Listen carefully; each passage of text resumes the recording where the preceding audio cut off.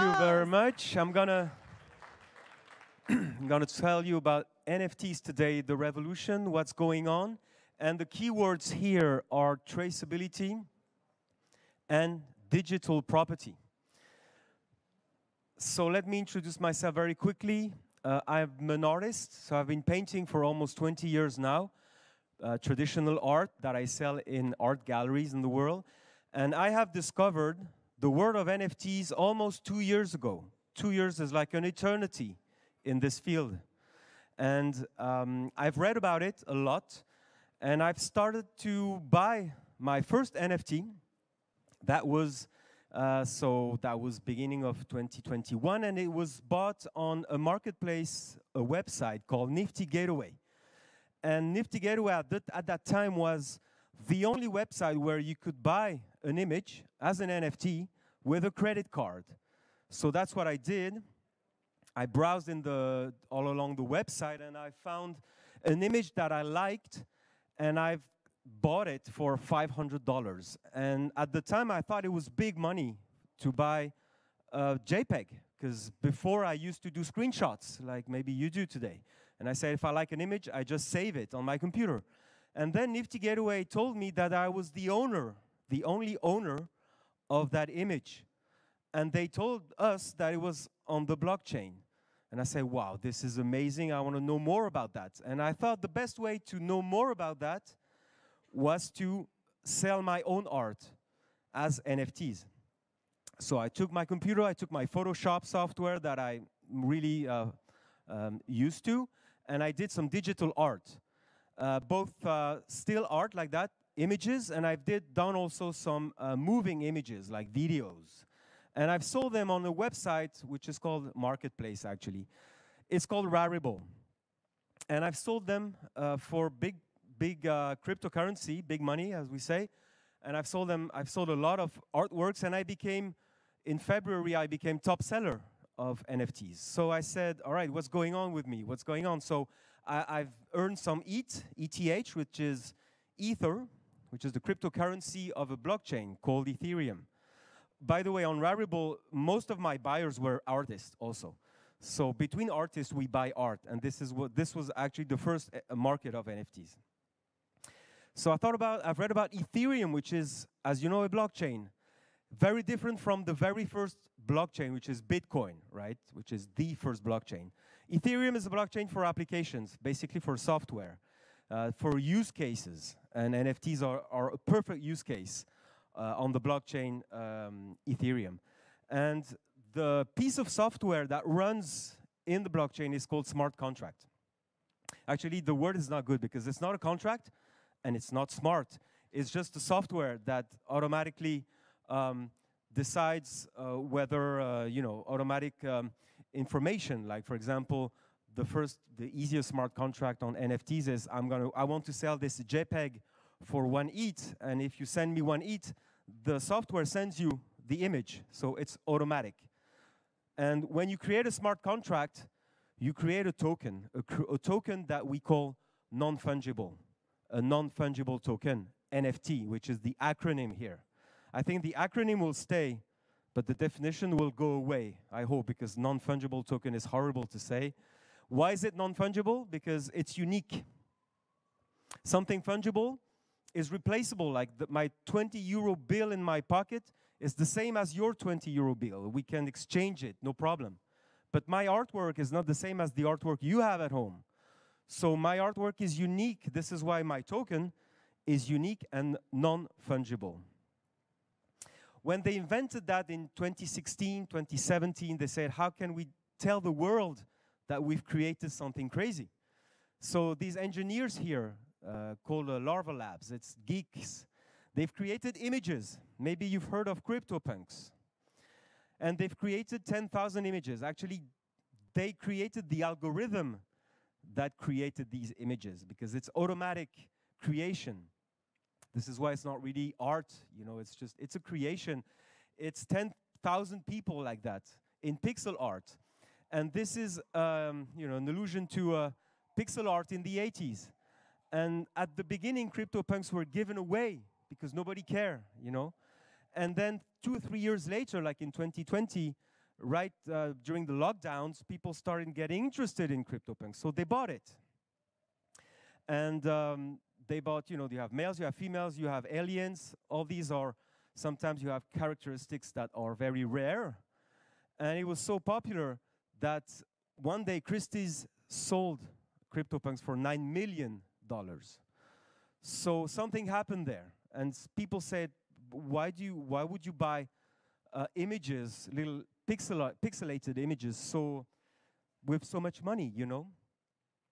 And then I've checked, also Christie sold an artist called Beeple, $69 million. But the press didn't tell you more about that JPEG. They just say, well, a JPEG went for 69 million. This is such a crazy world. What they didn't tell you is that Beeple has been working for 13, 13 years from two, uh, 2007 to, to today. He's created an image every single day for 13 years. That's 5,000 images.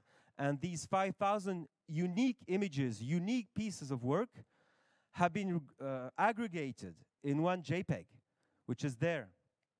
And this is what the buyers uh, bought. He bought 13 years of the life of Beeple, aka, aka Mike Winkelmann.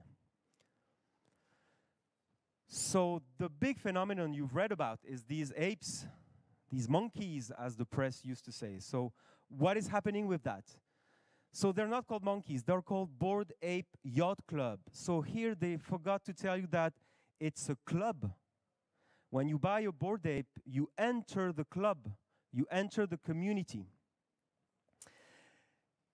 These apes are like CryptoPunks. They are made in a series of 10,000. You know, you will find more and more 10,000 series in collectibles. They're all different. They all look the same, quite the same, but they're all different. As the punks, they have certain characteristics, very unique, sometimes very rare, which makes the price move and up and down, depending on rarity.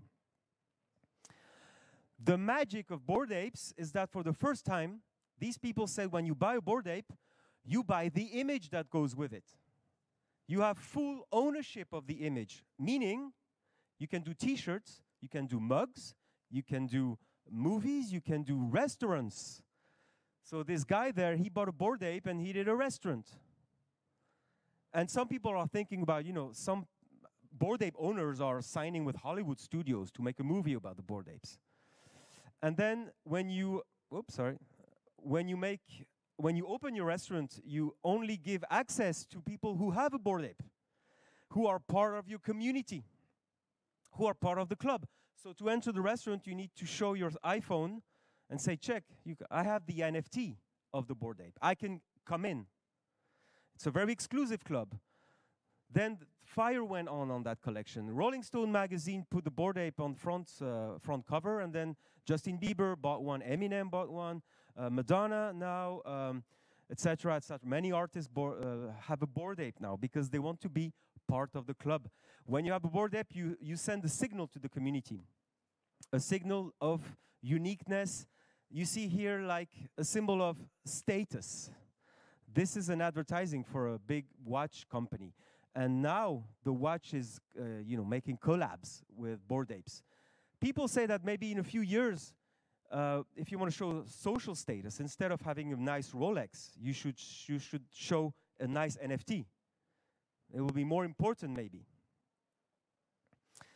So I've got my ETH and I've got my NFTs, but where are they? They're hopefully not on my computer because you know your computer, your cell, your cell phone can be hacked very easily. Hopefully, all your digital assets will never be on your computer. They will be always and forever on the blockchain. Thank God, it's the blockchain that is secure. The only way you can access your assets is through a key. And this key is your private key. It doesn't look like that in the blockchain world. Your key looks like a wallet. This is my MetaMask wallet. It's on my Chrome uh, browser. So it's just a piece of software. It's a free software that you add on your browser. And then you can see your cryptocurrency. And when you connect it to OpenSea, for example, you see your assets, you see your NFTs.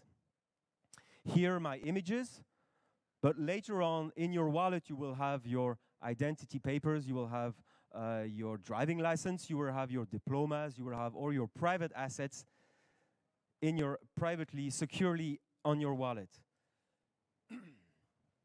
the galaxy of NFT is huge already. In two years, it has been crazy. NFTs are all over art, we've seen it. It's all over um, split assets. When you have expensive assets, you can split them in NFTs. It's all over logistics. You can stick an NFT on, in the parcels that fly over the world, you know? NFTs, of course, in gaming and metaverse. NFTs in utility, like DAO votes.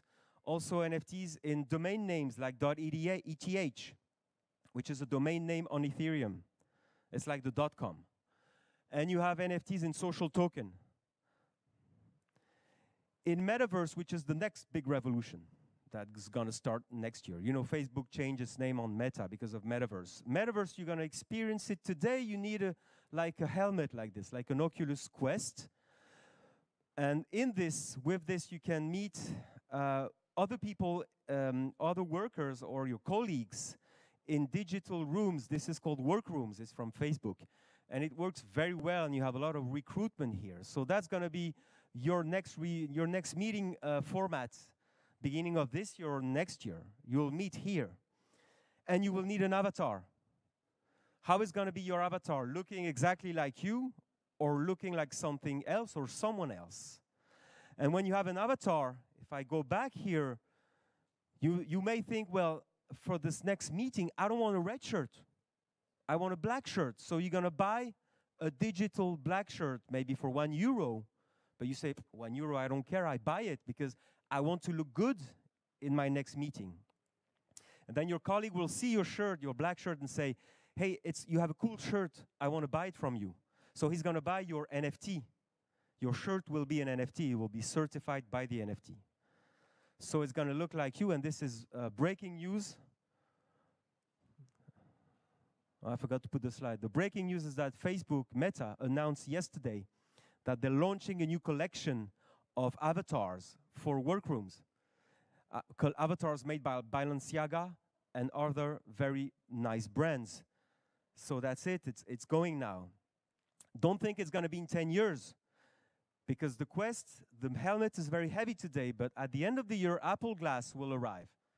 And Apple Glass is like, you know, my regular spectacles. It will be like this. You will have your correcting lenses on the Apple Glass, and then you put it on, and you will see digital universe in front of you, in front of your reality. It's called augmented reality.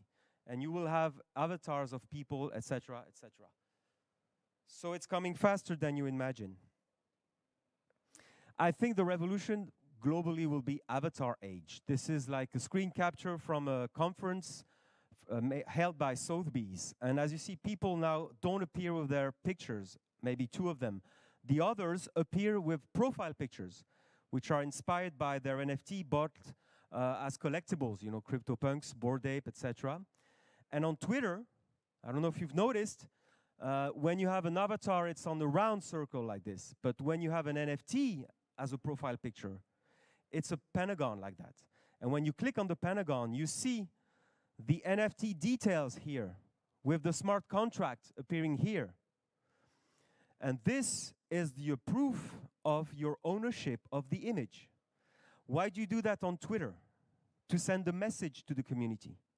You're telling the community that you understand NFTs, that you have the money to buy it, that you are inside the community, and that you interact with the community.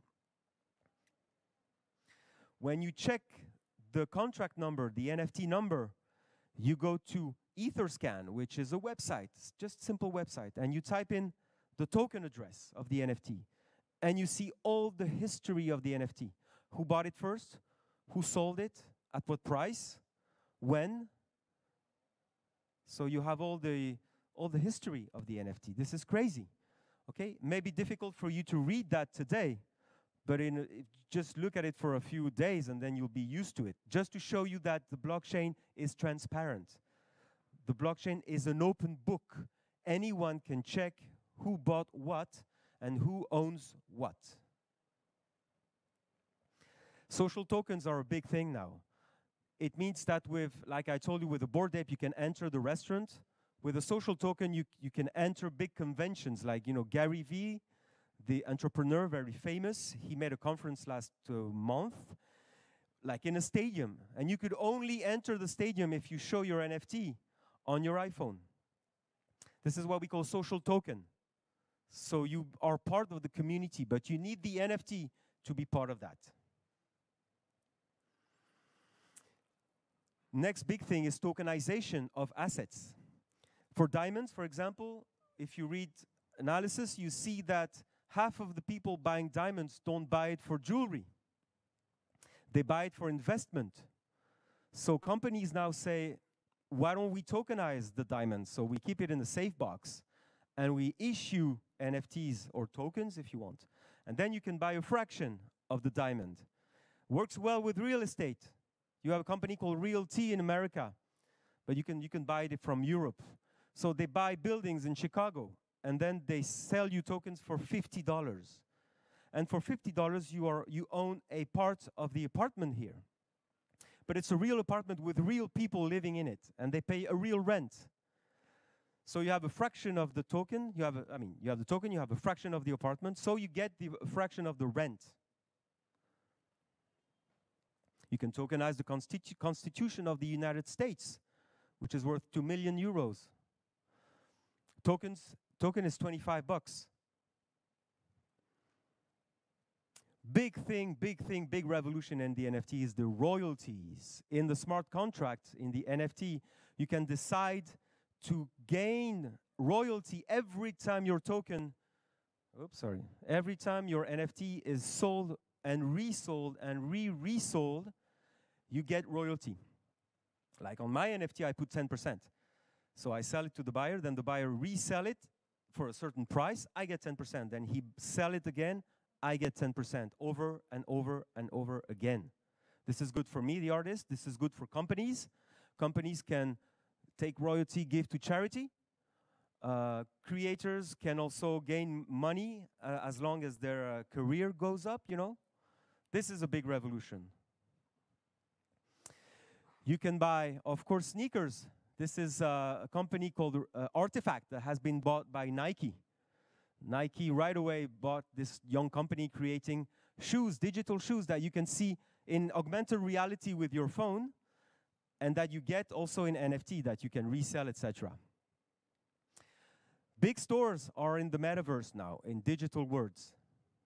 The store is digital and the, and the um, wearables are digital also. Big brands are into gamification. They make deals with, uh, you know, Roblox or uh, Minecraft or whatever, and they make good deals because they want to enter this community. Gaming is a huge industry. Gaming is is one of the biggest industry. Three billion people are, in, are gamers. So that's why big brands get into that. Carrefour, the supermarket, they bought land. This is how you enter the metaverse. You buy a piece of land, and then you decide to build like a house or supermarket, or you can also make recruitment. That's what Carrefour is doing in the metaverse. They recruit people.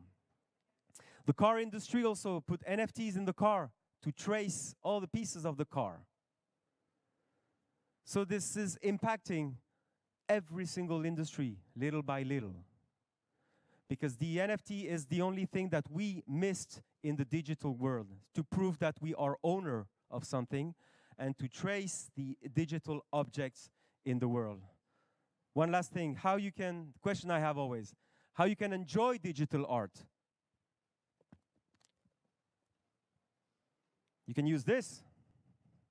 This is this is when I sell an NFT, I send also a physical piece like that. So you see, digital is not opposed to physical. Digital will complement the physical world. Thank you very much.